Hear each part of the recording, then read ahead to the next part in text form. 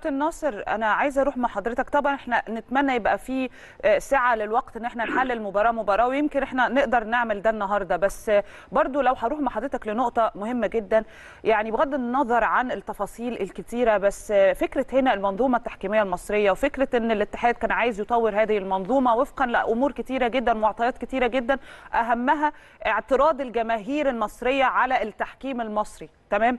ولا بعد كده لما رحنا واستقطبنا كلايتنبرج وكان الراجل ده أصلا قبل ما يجي ناس كتيرة جدا ضد استقدامه وناس تانية قالت لك لا بالعكس وجوده هيفرق بشكل كبير جدا.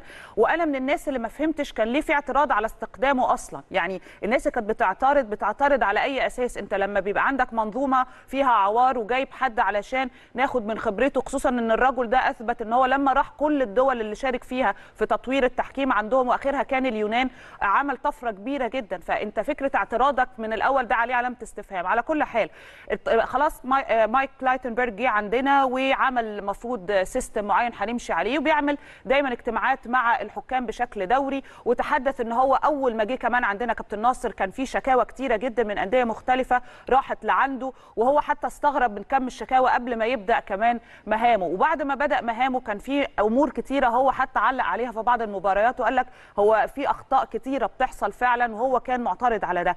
آه، مع كل الظروف اللي أنا بحكيها واللي حضرتك أكيد عندك تفاصيل أكتر عنها إحنا كده بنتكلم في إيه؟ إحنا محلك سر ولا الوضع هيبقى إزاي؟ ولا استقطاب يعني كلايتنبرج من البداية كان غلط؟ ولا يمكن قدام المنظومة يتم إصلاحها؟ وفكرة الفار زي ما حضرتك بتقول يعني اللي هو أصلا معمول علشان يتدارك هذه الأخطاء في العالم كله. لكن عندنا الأمور بالعكس.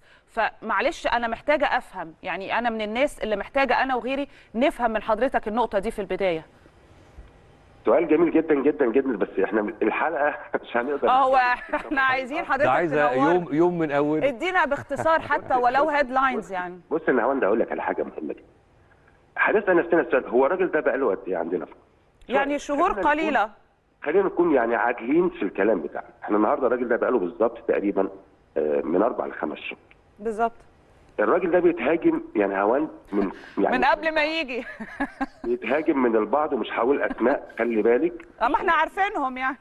آه، السؤال يلي بتهاجم حضرتك اللي قعدت ست سبع سنين في لجنة الحكام من فضلك هو أنت عملت إيه للتحكيم؟ أنت حلو بتحاسب الراجل على أربع شهور لسه بيتحسس الحكام وبيشوف مستواهم. آه، آه، يعني أنت بتهاجمه على أساس. طب ما أنت حضرتك قعدت ست سنين وانت في الست سنين مش عاوز أقول لك ان إحنا في سنة منهم جه 34 طاقم تحكيم أجنبي. مم. انت متخيلة اللي بيتكلم على جلاتنبرج وبيقول ان هو آه، آه، يعني مش آه، بيطور؟ لا انت حضرتك كنت مسؤول وجه 34 طاقم تحكيم أجنبي. تم اعتراض 17 نادي من أصل 18 وانت مسؤول. مفيش عندنا حكم راح كأس عالم للأسف الشديد وانت بتتولي مهمة التحكيم في مصر. فمن فضلك لو سمحت اللي بيهاجم الراجل إحنا مفترض إن إحنا بندي الراجل فرصة أنا بتكلم ده على جزء اللي البعض بيهاجموا الراجل صحيح الحاجة الثانية المهمة بقى آه، آه، كريم ونهوان بتكلم في حاجة من نقطة مهمة. إن النهاردة داخل لجنة الحكام في مشاكل. مشاكل وصراعات مين يعين الدوري الممتاز؟ آه، ده بيعين دوري ممتاز وده بيتدخل وده بيشيل الحكم وده بيحط الحكم وهناك مشكلة وأنا هتكلم بقى بعمق يعني والتفاصيل عندي. حضرتك لما أعلنت لجنة الحكام اتحاد الكرة الموقر إدى الدوري الممتاز وتعيين القسم الأول للكابتن توفيق السيد. الكابتن توفيق السيد ده لسه داخل لجنة الحكام جديد فالمفترض هو المنوط بتعيين الدوري الممتاز.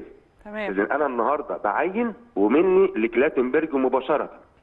لما نلاقي تدخلات في شغل توفيق السيد لا ما إحنا كده مش بنساعد الراجل. للأسف أنا بقول لك أهو. لا. ده كل كلام واحد- منطقي كلام منطقي طبعا. كل واحد من فضلك. أنت اعلنت لجنه الحكام حطيت وظائف كل عضو. مثلا توفيق السيد هو مسؤول تعيين الدوري الممتاز خلاص يبقى هو مسؤول وهو اللي يتحاسب ومنه لاتنبرج. من فضلك ما حدش من الأعضاء يتدخل في شغل توفيق السيد. مم. اللي أنا شايفه عكس كده. طب أنت النهارده عاوز تنجح الراجل؟ من فضلك. من فضلك. اتحاد الكره حدد المهام للناس اللي موجودة لأن الصراعات اللي جوه تؤثر بشكل كبير جدا جدا جدا على الحكام وعلى المباريات خارج ال ال في داخل الملعب. وهنا دي المشكلة. طبعا. بنتكلم عاوزين نساعد الراجل؟ لا نساعد الراجل نقف مع الراجل. في أخطاء؟ لا ده في أخطاء كبيرة جدا. وخلي بالك التطوير ما بيجيش من يوم ولا من شهر ولا من اثنين آه، التطوير ده عشان أنا أحاسب الراجل على الأقل يقعد سنة وحاسبه الحاجة الثانية إن أنا بطلبها من كلاتنبرج من فضلك مفيش تطوير تحكيمي ابدا أونلاين وده مش موجود. يعني أنا أنا محاضر في الاتحاد الأفريقي وكنت مقيم و referee assessor في الاتحاد. التحكيم وتطوير التحكيم في ميدان اللعب تنزل مع حكام الملعب تنزل تطو- تطور من أدائهم تنزل مع الحكام المساعدين. الكلام ده مش هينفع إن أنا أطور أونلاين آه، يا كليتنبرج من فضلك آه، روح المحافظات وشوف ال- اللجان الحكام الفرعية. لا عاوزين شغل. حضرتك بتتقاضى مبالغ مفيش مشكلة. بس إحنا عاوزين آه، ال- المبالغ اللي بتاخدها تبتدي تعمل بيها شغل الحكام على أرض الواقع. آه، أمور كتيرة طبعا لو قعدنا نتكلم مش مش هننتهي ولكن أنا بقول في النهاية النهارده عندنا مباراة. هذه المباراة تم تعيين فيها الكابتن طارق مجدي حكم للميدان والكابتن سيد شعبان حكم للفار. تاني رسالة يا كابتن سيد؟ يعني مش هنرجعك لماتش الأهلي فيوتشر يجب النهارده يكون في تركيز إن هذه مباراة إقصائية. كابتن طارق أنت حكم أول مرة تحكم هذا الموسم للنادي الأهلي. يعني آه، لابد إنك أنت تعبر عن نفسك. ما تعتمدش على الفار يا كابتن طارق. انزل النهارده واعتمد على نفسك. محتاجين نشوف مباراة بلا أخطاء. هو إحنا يا فندم عندنا الملف التحكيمي في بلدنا. يعني كمية المشاكل اللي فيه أكبر من قدرات أي شخص على الإصلاح حتى لو كان الشخص ده آه، يعني آه، وارد الخارج زي ما بيتقال إنجاز التعبير يعني وفي نفس الوقت عنده تاريخ زي ما نهاوند كانت بت- بت- بتشير من شوية إن الراجل ده لما آه، حط رجله في آه، بلاد معينة آه، كمحاولة لإصلاح المنظومة التحكيمية فيها عمل شغل زي الفل.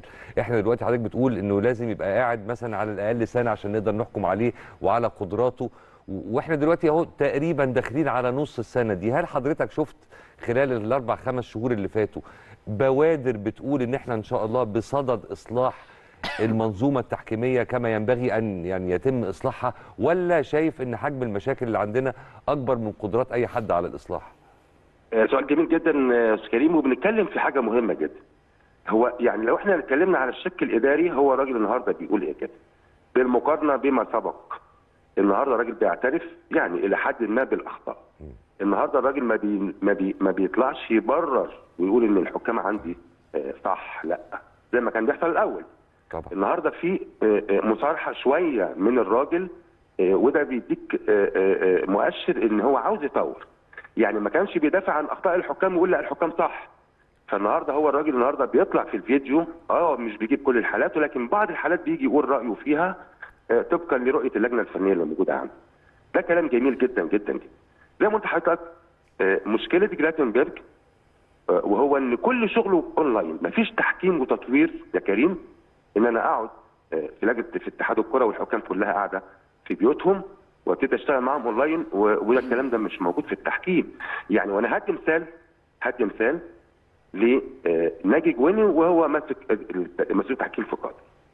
في ظل وجود كأس العالم ويعني الناس كلها مشغولة بكاس العالم لجنه الحكام في قطر بتعمل إيه؟ بتشتغل ملهاش علاقة ابدا بالبطولة. حكام قطر بتشتغل في ميدان اللعب ناجي جوني موجود والتدريب البدني والفني وال- والذهني والتطوير موجود في ميدان اللعب. إحنا محتاجين الراجل ينزل لأن أنا النهارده لما بنزل مع الحكام داخل ميدان اللعب أنا بشوف المستوى الحكام طب هو ليه التطوير شغال أونلاين الفترة اللي فاتت يا فندم؟ لا يسأل بقى هنا بقى يعني معلش أنا كاتحاد كورة النهارده بجيب. مدير تطوير أنا ليه أهداف كاتحاد كوره من فضلك أنا محتاج واحد اثنين ثلاثة أربعة.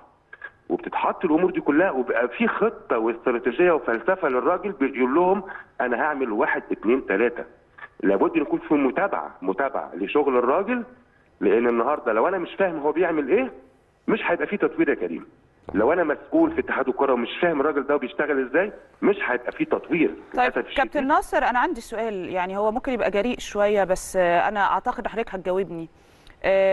هل في آه، بعض الأشخاص اللي هي مش عايزة ومش من مصلحتها إن يكون في تطوير في منظومة التحكيم المصري؟ أشخاص من داخل الاتحاد ولا من خارج؟ أنا مش هحدد يا فندم. شوف أقول لك على حاجة. هو السؤال اللي بيفرض نفسه وأنا بتكلم معاك بصراحة. هو الراجل ده لو نجح لو نجح في مهمته كتطوير. إحنا بقى لنا فترة للأسف الحكام آه، اللجان بتروح وتيجي مفيش تطوير. اذا النهارده نجاح الراجل دوت هيثبت حاجات كتيرة جدا ان هوند هيثبت بقى الناس اللي كانت بتشتغل قبل كده هل كانت بتشتغل ولا ما كانتش بتشتغل. وبالتالي أنا بقول لك لا الراجل بيتهاجم وأنا بتكلم بأمانة. الراجل ما بيتهاجم. هو علشان هو بيتهاجم يا كابتن ناصر وعلشان المنظومة التحكيمية زي ما تقول في ناس مش عايزاها تتطور وده واضح جدا بكل اللي بيحصل حتى هذه اللحظة اللي إحنا بنكلم حضرتك فيها. وعلشان ما فيش برضو التزام من قبل بعض وهقول بعض الحكام في أرض الملعب بالقوانين الموضوعة. وعلشان ما فيش التزام من قبل الحكام في اتباع الاستراتيجي اللي كلايتنبرج بينفذها حتى لو إحنا اعترضنا عليها اونلاين أو غيره وغيره وغيره من النقاط اللي في الآخر بتديني إحساس ومش أنا لوحدي بعض الناس إن هو في إيه؟ هو ليه في ناس مش حابة إن هذه المنظومة تتطور؟ ما هو ده برضو عليه علامة استفهام لو حضرتك تتفق معايا. بتفق معاك 100% 100% وقلت لحضرتك إحنا الموضوع أنا عندي تفاصيل كتير. وعندي أسرار كثيرة جدا جدا بخصوص لجنة الحكام. زي ما قلت لحضرتك الوقت مش هيسعفنا إن إحنا نتكلم في هذه التفاصيل. ولكن أنا بقول بقول إحنا قناة النادي الأهلي دايما دايما والله وأنا كل استوديو تحليلي بطلع يعني مش مش بس بنطلع الحالات يعني هوند خلي بالك. يعني أنا ما بجيبش الحالات التحكيمية وأقول إن الحكم أخطأ هنا وهنا. بالعكس أنا كراجل محاضر قبل كده واشتغلت في لجنه الحكام بنحاول قدر المستطاع والقناة الوحيدة اللي بقولها أهو بنطلع بنحلل تطوير ما يجب تطويره لأداء الحكم مش بس بنجيب الأخطاء عشان نقول الحكم عنده أخطاء. أشكرك يا فندم عامة على الشهادة دي أكيد. يعني شكرا ليك. والله بدون مجاملة وأنا بقول في البداية يا جماعة أنا هنا موجود لو يعني لو أنا عرفت أساعد الحكام يا كريم في إن مثلا في حالة من حالات تمركز أو قراءة لعب غير يعني صحيحة أو تدخل غير مبرر من الحكم الفار بنقول الكلام ده يا جماعة لأن إحنا اشتغلنا وعارفين يعني إيه تطوير أداء الحكم. صحيح. إحنا بنساعد كقناة النادي الأهلي بنساعد كلاتنبرج واقفين معاك. بس يا ريت اللي معاه يساعدوه. يعني مش إحنا هنساعد بس. حلوة حلوة الجملة الأخيرة دي على فكرة. هي ردت على سؤال الجملة الأخيرة. والله العظيم بكلمك بأمانة ومش مجامل. يا ريت الناس اللي معاك يا جماعة اللي صحيح. معاك يساعدوك. لأن أنا شايف إن هناك صراعات من بين يعني بين الأعضاء. صراعات كبيرة جدا جدا. ومين عاوز يثبت نفسه؟ ومين يقول أنا اللي قريب للراجل؟ ومين يقول أنا اللي بعين لا الكلام ده بيجي يا جماعة على مستوى التحكيم بشكل عام. صحيح. مستوى الحكام ثقة الحكام النهارده خلي بالك والله والله يعني أنا هقول لك على حاجة مهمة. إحنا دايما في بداية الموسم بنحاول نخلي الثقة تبقى موجودة ما بين الأندية والحكام. وده بيبقى شغلنا الشاغل اللي دي بتبقى حاجة صعبة جدا جدا. النهارده بقى ما فيش ثقة ما بين الحكام واللجنة. ده أمر صعب جدا جدا جدا. النهارده ما فيش ثقة ما بين الحكم واللجنة. النهارده من كثره الأخطاء ومن كثره ال ال ال المسؤولية ما إحنا مش عارفين مين مسؤول أو مين بيعين أو النهارده الحكام بقى مش عارفة إيه الصح وإيه الغلط. هو الأسوأ من ده ما بقاش فيه ثقة تماما ما بين الجماهير. والحكام طب وده فاضل إيه؟ ده ده ده الشيء فاضل إيه يعني فاهم قصدي؟ فاضل لنا إيه بقى ك- بص يا كمحبين كريم إحنا؟ خلينا نستغل وجود دلوقتي كابتن ناصر عشان هو يوعدنا بنفسه إحنا محتاجين حضرتك كابتن ناصر طبعاً، إحنا. حضرتك طبعا ضيف دائم على قناة الأهلي بس إحنا عايزين نعمل فقرة كاملة عن التحكيم يمكن بقى زوايا هتبقى مختلفة شوية هنناقشها مع حضرتك لو تشرفنا في 10 الصبح أنا عارفة الصحيان بيبقى بدري شوية بس حضرتك لازم تشرفنا عشان في كلام مهم كتير جدا محتاجين نناقشه مع حضرتك والكلام مهم يا نهاوند وكريم وإحنا بنقول في مصلحة التحكيم. نحن لا ننقد الحكام بس عشان ننقدهم. ولكن والله والله إحنا بننقد الحكام. إحنا بنحب الحكام اولا كلهم إخواتي ونفس التحكيم في مصر يبقى كويس. يا فندم إحنا بندافع عن فكرة وعن مبدأ إحقاق الحق بغض النظر عن اطرافه مين ل- لصالح ف- الكرة المصرية في الأول وفي الآخر هي بطبيعة قصة. ملهاش دعوة بأشخاص نرجع ابدا. نرجع ونقول ربنا يدينا ويديك ويدي المشاهدين طولة العمر ونحضر اليوم اللي نلاقي فيه المنطق متحقق وحاصل في حياتنا الكروية وفي المنظومة التحكيمية بصفة خاصة. أنا بكرر طلب نهاوند لازم فعلا تيجي تنورنا إن شاء الله. إن شاء الله. ونسعد بوجودك معانا بنشكرك جزيل الشكر على وجودك معانا.